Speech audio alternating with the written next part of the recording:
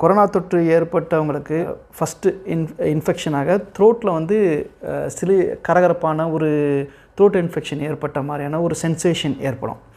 அந்த சென்சேஷனோட ஒட்டி அவங்களுக்கு வந்து ஒரு ரன்னிங் நோஸ் மாதிரி ஸ்னீசிங் காஃபிங் அது மாதிரியான ஒரு ரெகுலர் கோல்ட் அண்ட் காஃபுக்கு என்னென்ன சிம்டம்லாம் உண்டு பண்ணுமோ அதே மாதிரியான சாதாரண சிம்டம் தான் முதல் நாளும் இரண்டாவது நாளும் ஏற்படும். இந்த முதல் நாள் இரண்டாவது நாள் சிம்டம்க்கு அடுத்தபடியாக சிலருக்கு காய்ச்சல் வரலாம்.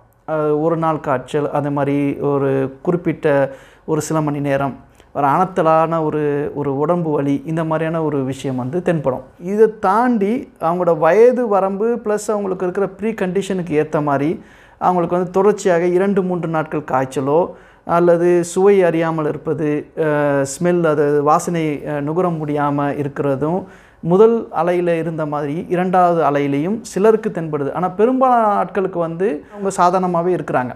ஒரு நாள் சளி பிடித்தது ரன்னிங் நோஸ் இருந்துச்சு.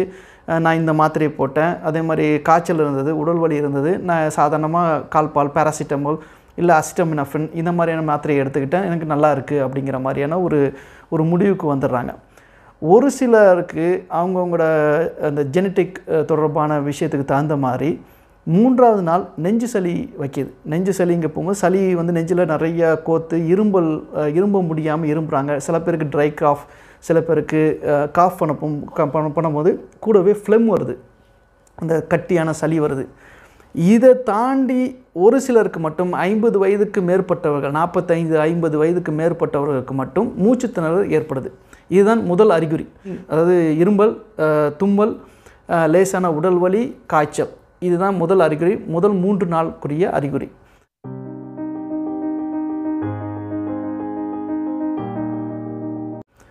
அறிகுறிகள் தென்பட்டவர்கள் இதில் அறிகுறி தென்பட்டவங்க வந்து பல கட்டமாக நம்ம பிரித்து பார்க்கலாம். ஒரு ஃபஸ்ட்டு முதல் கட்டமாக வந்து சளி பிடிச்சவங்க என்ன செய்கிறது முதல் கட்டமாக இப்போ எனக்கு சளி பிடிச்சிருக்கு தொண்டை வந்து கரகரப்பாக இருக்குது த்ரோட் இன்ஃபெக்ஷன் வந்த மாதிரி இருக்குது அப்படிங்க போகும்போது இமீடியட்டாக ஒரு ஆர்டிபிசிஆர் டெஸ்ட் எடுத்துக்கிறது நல்லது.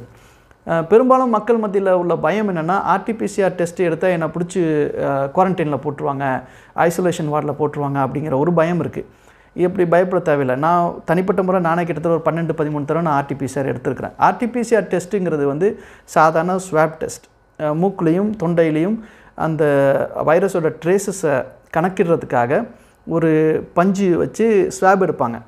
இந்த ஸ்வாபில் வந்து அந்த ரிசல்ட் வரப்போகும்போது ஆர்டிபிசிஆர் டெஸ்ட்டில் வைரஸ் வந்து இருக்கா இல்லையா பாசிட்டிவாக நெகட்டிவான்ற ரிசல்ட் நம்மளுக்கு வரும்.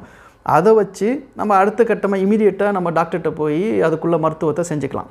பெரும்பாலும் நீங்கள் வந்து இப்போது ஆரம்ப கட்டத்தில் நீங்கள் போய் ஆர்டிபிசிஆர் எடுக்க போகும்போது உங்களுக்கு பாசிட்டிவாக வந்துச்சுன்னா டாக்டர் கொடுக்கக்கூடியது என்னென்னா உங்களுக்கு அசித்ரோமைசின் கொடுப்பாங்க இல்லை டா டாக்ஸிசிலின் கொடுப்பாங்க ஐவர்மெக்டின் கொடுப்பாங்க ஜிங்க் அசிட்டேட் போன்ற vitamins vitamin D three vitamin D இது போன்ற மருந்து மாத்திரைகள் கொடுப்பாங்க. அதுலேயே பெரும்பாலான ஆட்களுக்கு இந்த தொற்று மேலும் பன்மடங்காக பெருவாமல் துவக்க காலத்தில் ஃபஸ்ட் டே செகண்ட் டேலேயே இது தீர்க்கப்பட்டுரும். அப்படி ஒரு கால் நீங்கள் டாக்டர்கிட்ட ஃப- முதல் நாள் இரண்டாவது நாள் அறிகுறியிலேயே நீங்கள் போய் ஆர்டிபிசிஆர் எடுக்காமல் நீங்கள் காலதாமதப்படுத்துனீங்கன்னா மூணாவது நாள் நாலாவது நாளில் கொஞ்சம் நெஞ்சு சளி அதிகமாக சேர்ந்துருச்சு நெஞ்சிலன்னா நீங்கள் இமீடியட்டாக அப்பவும் நீங்கள் டாக்டர்கிட்ட போய் கவர்மெண்ட் ஹாஸ்பிட்டலில் போய் அல்லது ப்ரைவேட் லேபில் போய் ஒரு பிளட் டெஸ்ட்டும் இந்த ஆர்டிபிசிஆருமா சேர்ந்து எடுத்துக்கணும். ஆர்டிபிசிஆர் டெஸ்ட்டில் உங்களுக்கு நெகட்டிவாக பாசிட்டிவான்னு தெரியும். சில சமயத்தில் ஃபால்ஸ் நெகட்டிவும் வரும். ஏன்னா நீங்கள் போகும்போது மூன்றாவது நாள் நான்காவது நாள் போகும்போது அந்த வைரஸ் ஆனது உள்ளுக்குள்ளார தொண்டைக்குழியிலேருந்து நுரையீரலுக்கு ரீச் ஆகிருக்கும் அப்போ தொண்டைக்குழியில் அந்த வைரஸோட ட்ரேசஸ் வந்து அதி அதிக அளவு இருக்காது. மூக்குலேயோ தொண்டையிலையோ அதிக அளவு இருக்காது. இந்த நான்காவது நாள் போய் பார்க்க போகும்போது கம்மியாக இருக்கும். அப்போது ஃபால்ஸ் நெகட்டிவ் வரக்கூடிய சான்சஸ் அதிகமாக இருக்கிறதுனால ஒரு நீங்கள் கோவிட் பேஷண்ட்டாக இல்லை அப்படின்ற மாதிரி டிக்ளேர் பண்ணிட்டு நீங்கள் வீட்டுக்கு போயிடுவீங்க. அது பெரும்பாலும் நிறைய பேர் செய்யக்கூடிய தவறாகவும் இருக்குது இப்போது மூன்றாவது நான்காவது நாள் போய் ஆர்டிபிசிஆர் எடுக்கிறவங்க கூடவே பிளட் டெஸ்ட் எடுக்க போகும்போது ஆர்டிபிசிஆரில் நெகட்டிவாக வந்தாலும் கூட நீங்கள் பிளட் டெஸ்ட்டில் ஹீமோகிராம்ன்ற ஒரு ஒரு டெஸ்ட் ஒன்று இருக்குது அதாவது சிபிசி அப்படின்னு சொல்லுவோம் முழு அணுக்களுடைய கணக்கீடு அப்படின்னு சொல்லுது ஏன்னா அப்போது அந்த கணக்கீடு எடுக்க போகும்போது அதில் உள்ள நியூட்ரோஃபில் லிம்போசைட்ஸ் இதெல்லாம் இந்த வெள்ளை அணுக்கள்லாம் லியூக்கோசைட்ஸ்னு சொல்லுவாங்க. வெள்ளை அணுக்களோட எண்ணிக்கை எவ்வளோ இருக்குது டபிள்யூபிசி கவுண்ட் எவ்வளோ இருக்குது அப்படிங்கிறத பொறுத்து உங்கள் உடம்புல நோய் உண்டாயிருக்கா உண்டா இல்லையான்னு சொல்லிட்டு நம்ம ஈஸியாக கணக்கிட்டுலாம். இரண்டாவதாக அதுலேயும் உங்களுக்கு போதிய அளவு டபிள்யூபிசிலையும் தெரியல அப்படின்னா அடுத்த கட்டமாக நீங்கள் வந்து ஒரு செஸ்ட் எக்ஸ்ரே எடுக்கிறது நல்லது. பெரும்பாலும் இப்போ என்னென்னா ஒரு ட்ரெண்டாக இருக்கிறது வந்து சிடி ஸ்கேனுன்னு போயிடுறாங்க.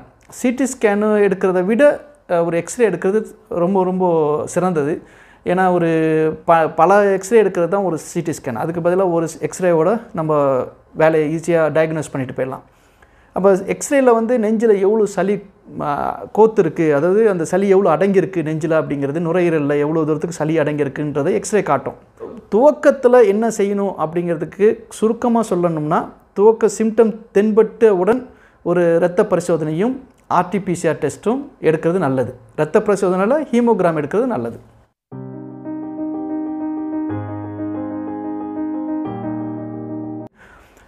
கோவிட் தொற்று ஏற்பட்டு ஒருத்தவங்க மூச்சு விட சங்கடப்படுறாங்க அப்படின்னா அவங்களுக்கு வந்து இமீடியட்டாக நீங்கள் ஒரு ஆக்சிமீட்டர் கையில் வச்சுருந்தீங்கன்னா அந்த ஆக்சிமீட்டரை வச்சு அவங்களோட எஸ்பி ஓட்டு லெவல் என்ன இருக்குன்னு பாருங்கள் ஒரு கால் அவங்களுக்கு வந்து 92 டூ அண்ட் பிலோ இருந்துச்சுனாக்கா அவங்கள வந்து கண்டிப்பாக நீங்கள் வந்து ஹாஸ்பிட்டலைஸ் பண்ணிடணும். மருத்துவமனை கூட்டிகிட்டு போய் அவங்களுக்கு வந்து அவங்களுக்கு ஹை ஃப்ளோ ஆக்சிஜன் கொடுக்க வேண்டிய சூழ்நிலை ஏற்படும். இல்லை அவங்க வந்து ஸ்டேபிளாக இருக்கிறாங்க அப்படிங்கிற பட்சத்தில் அவங்களுக்குரிய மருந்து மாத்திரைகளில் உங்கள் வீட்டிலேயே ஆக்சிஜன் சப்ளை கொடுக்க முடியும்னா சாதாரண சிலிண்டரை வச்சு நீங்கள் ஆக்சிஜன் கொடுக்கலாம்.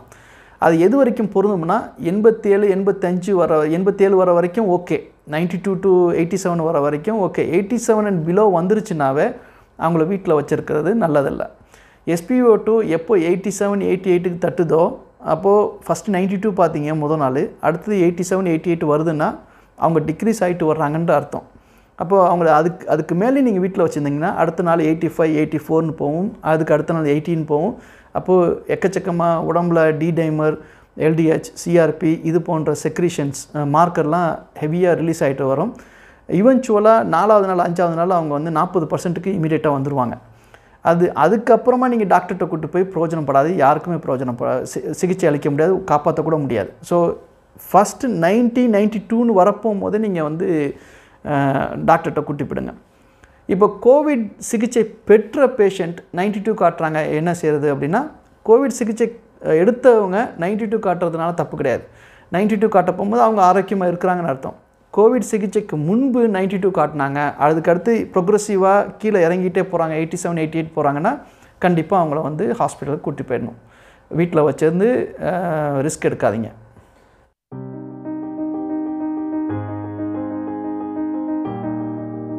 கொரோனா நூறு பேருக்கு வருதுன்னா அதில் இருபது சதவீதமான ஆட்களுக்கு மட்டும் உங்களுக்கு நெஞ்சு சளியை வச்சு அவங்களுக்கு அதோட சைட்டோக்கின் ஸ்டாம் அப்படிங்கிற மாதிரியான ஒரு நிலை உருவாகுது.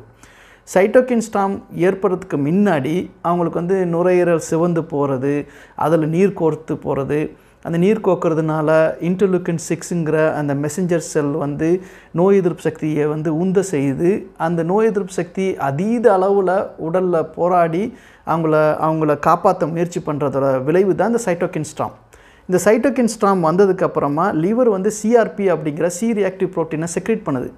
இப்போது கோவிட் நோயாளிகள் இறக்கிறதுக்குரிய காரணம் என்னென்னா பெரும்பாலான ஆட்கள் இறக்கிறதுக்குரிய காரணம் இந்த சைட்டோகின் ஸ்டாம் அப்படிங்கிற அதீத நோய் எதிர்ப்பு சக்தி. உச்சக்கட்டத்துக்கு போய் நோய் எதிர்ப்பு சக்தி எல்லாமே கட்டுப்பாடற்ற நிலையில் பெருமளவு ஒரு போராட்டத்துக்கு உள்ளாகுது.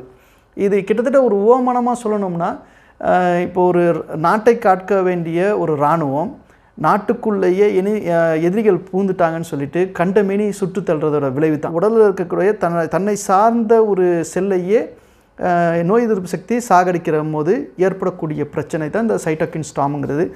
அப்போது கிட்டத்தட்ட ஆர்கன் மல்டி ஆர்கன் ஃபெயிலியர் வரக்கூடிய சூழ்நிலை உருவாகும். பெரும்பாலான கோவிட் நோயாளிகளுக்கு ஆக்சிஜன் பற்றாக்குறையாக போகிறதும் இந்த மாதிரியான ஆர்கன் மல்டி ஆர்கன் ஃபெயிலியருக்குரிய முக்கிய காரணமாக இருக்குது ப்ளஸ் தன்னோட சொந்த செல்லையே நோய் எதிர்ப்பு செல்கள் வந்து சாகடிக்கிறதுனால இந்த மாதிரியான உயிரிழப்புகள் அதிகமாக நடக்குது.